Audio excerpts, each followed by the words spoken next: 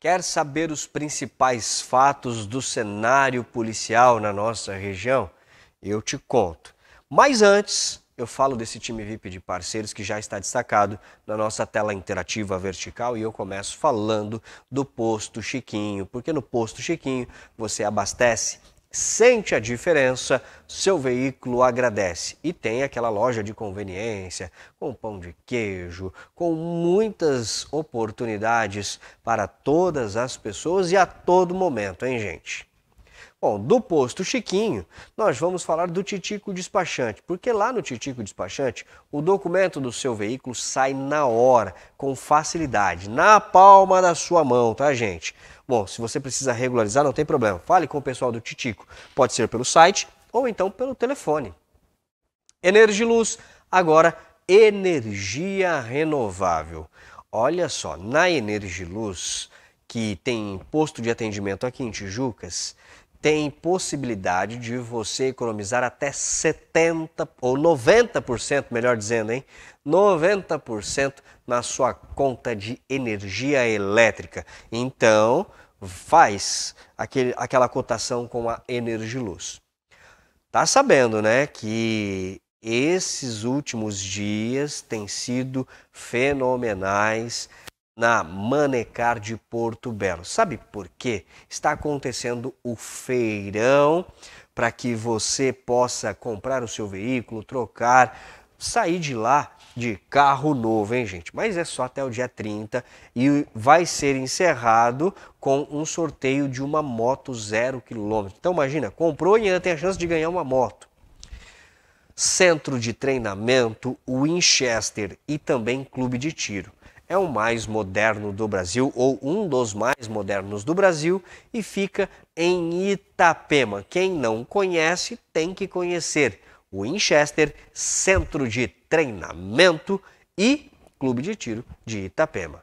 Vamos lá então trazer as principais informações da nossa região e nós já vamos direto para São João Batista. E quem traz mais informações para nós é o subtenente, o Márcio Meyer, que vai falar de um caso da prisão de um homem de saída temporária, gente. Dá para acreditar? Subtenente, boa tarde. Olá a todos que nos acompanham.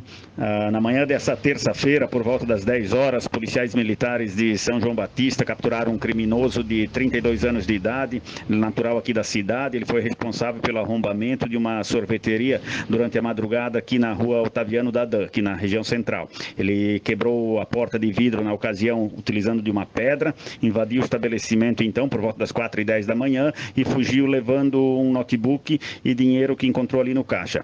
Visualizando Analisando as imagens, os policiais então reconheceram um suspeito, conhecido no meio policial por diversos crimes patrimoniais aqui na nossa região em época passada, e que ele cumpre pena de mais de 10 anos de reclusão eh, no presídio regional de Blumenau pelo envolvimento em assaltos, furtos, receptação, falsa identidade, dentre outros crimes. Ah, ele estava usufruindo da saída temporária de sete dias, ah, que iniciou no último dia 22, até com previsão de retorno ao presídio no dia 29 dessa semana. O, no endereço repassado pelo criminoso que estaria se hospedando durante essa saída temporária do presídio aqui no, no bairro Jardim São Paulo, foi encontrado então o notebook da vítima, dinheiro e telefone celular. O criminoso, criminoso foi preso em flagrante e conduzido à delegacia de polícia na cidade de Brusque juntamente com os produtos para serem restituídos à vítima. Olha, tem coisas que é difícil entender, tá, gente? Como é que um preso é preso? Pois é, essas saidinhas temporárias aí normalmente terminam nessas situações.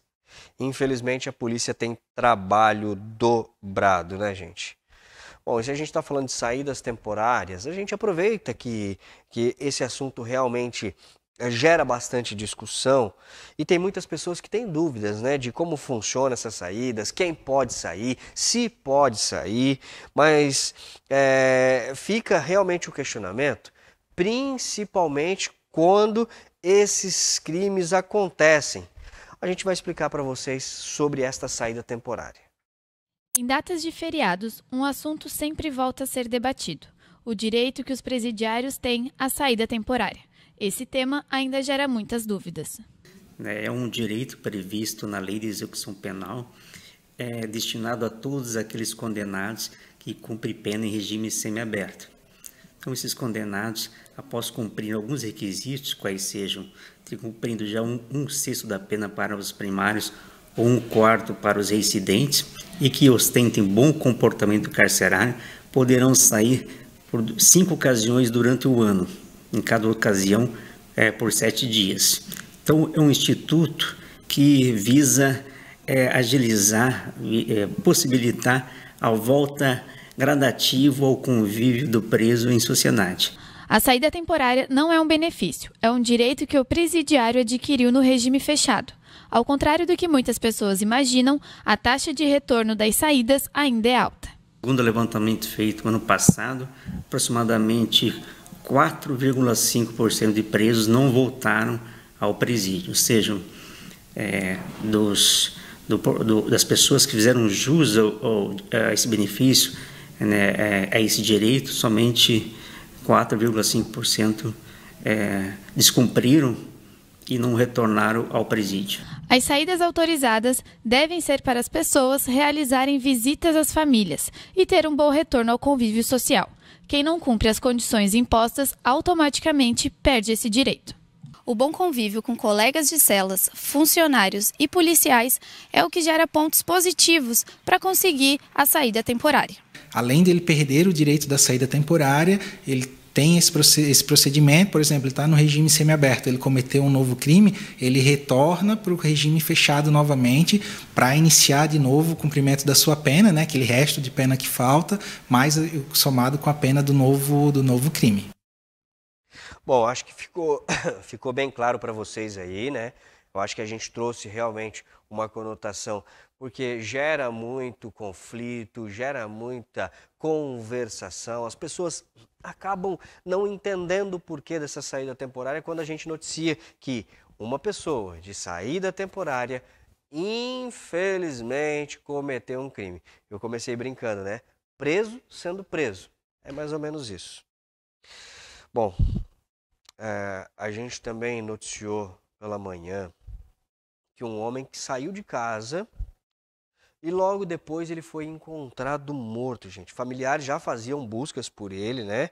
É, e infelizmente encontrou ele caído aí às margens é, de uma estrada. E nós voltamos a falar em contato com o subtenente Márcio Mer, que explica exatamente essa história. Na noite dessa terça-feira, por volta das 21h30, um homem de 56 anos de idade foi encontrado morto às margens da estrada de chão que leva até o bairro Moura, em São João Batista, aproximadamente um quilômetro da rodovia C410. Familiares da vítima relataram que moram no mesmo bairro e perceberam o desaparecimento do homem que havia saído de casa com uma motocicleta por volta das 8 horas da manhã e não retornou mais.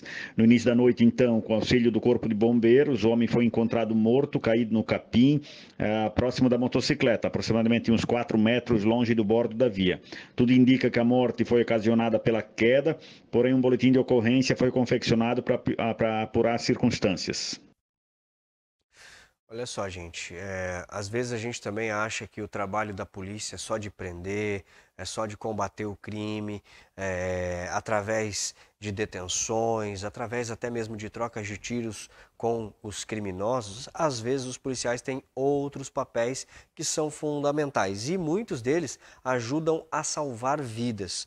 Eu estou falando do sargento Davi da Polícia Militar de Porto Belo, que olha só, ele foi um dos responsáveis por dar apoio a um morador do município que infelizmente sofreu um AVC. Uh, o sargento conversou com a gente e ele falou sobre é, esta ocorrência e principalmente né, sobre a, a fundamental importância do trabalho feito para conseguir que este morador permanecesse vivo. Domingo, na parte da manhã, a gente estava vindo com a nossa equipe e se deparamos com um veículo vindo pelo meio da pista, porque os dois lados estavam congestionados, na região do Vila Nova, e o cidadão motorista disse que estava com a situação de AVC. Nós rapidamente fizemos a nossa obrigação, dar apoio para o cidadão de bem. manobramos a viatura e fomos abrindo o caminho para chegar o mais rápido possível na UPA de Porto Belo. Então, agradecendo aí na rede social, mas eu entendo que é a nossa obrigação servir e proteger o cidadão de bem. E eu, como sargento da Polícia Militar, quero dizer para você, cidadão, que estaremos sempre à tua disposição. Olha, eu falei, comecei falando, o sargento Davi falou e vou repetir, né? Muitas vezes a gente acha que a polícia é somente para prender criminosos, para manter a segurança, mas não. Às vezes os policiais também, eles são preparados, né, e acabam se confrontando com situações como estas e ajudam a salvar vidas, hein, gente? Muito importante. E com esta notícia a gente encerra o Ocorrências Policiais de hoje, num oferecimento de Posto Chiquinho, o Winchester Centro de Treinamento e Clube de Tiro, Titico Despachante, Energiluz, agora energia renovável e também Manecar Veículos e Consórcios.